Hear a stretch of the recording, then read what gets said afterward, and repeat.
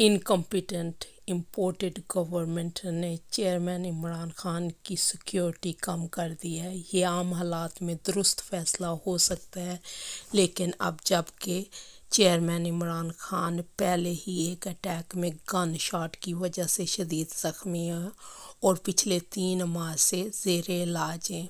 इसी वजह से इनकम्पिटेंट इम्पोर्टेड गवर्नमेंट का ये फ़ैसला किसी सियासी इंतकामी सियासी इंतकामी कार्रवाई लगता है, जो समझ से पाला तारा है ऐसे लगता है कि imported government chairman Imran Khan की ज़िंदगी को जानबूझकर ख़तरे में डाल रही है, जो कि एक खौफनाक अमल है और सीधा सीधा कत्ल की अटैम्प्ट है।